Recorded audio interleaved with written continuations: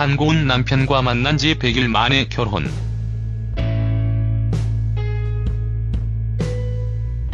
동상이몽이 배우 한고은이 남편과 만난 지 100일 만에 결혼을 결심했다고 밝혔다.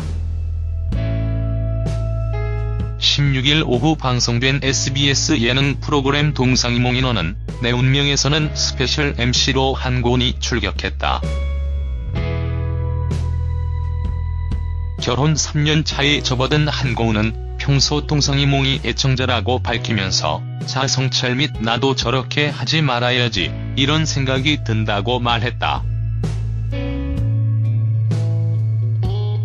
이어 사귄 지 101일째 되는 날 결혼을 결정했다.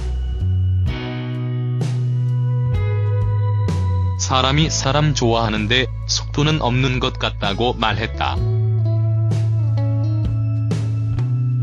이어 MC들이 가수 노사연, 이무송 부부를 언급하며 두 부부 모두 4세 연하 커플이다면서 공통점을 언급했다.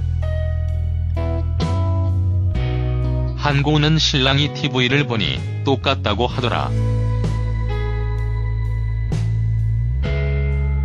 저도 약간 직진인 편이고 덜렁거리기도 하고 소녀 같은 면도 있다면서 노사연과 닮은 점을 나열했다.